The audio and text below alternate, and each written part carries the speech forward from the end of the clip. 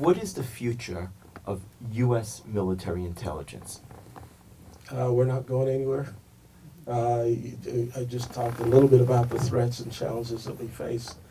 Um, I, I have five no-fail missions. I talked to the team about. Uh, it's Russia, Mm-hmm. China, North Korea, Iran, and what I call the Black Flag. Mm-hmm. Uh, the Black Flag is Salafi jihadist movements of the world, whether that's Daesh or uh, Al Qaeda, or whatever it, uh, is the next version of the Salafi jihadist movement. Um, those are not going away.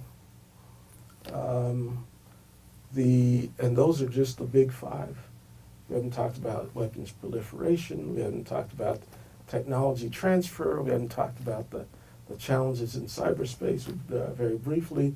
We haven't talked about uh, humanitarian disaster uh, relief. So there's so much that is uh, required of our communities.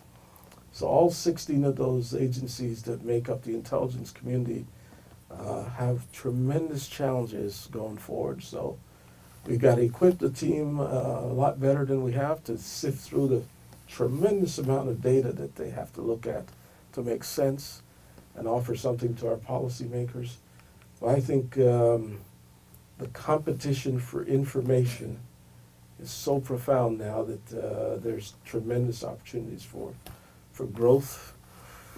Although I don't expect to see much growth because I don't get the resources to grow, so I've got to deal with doing better with less.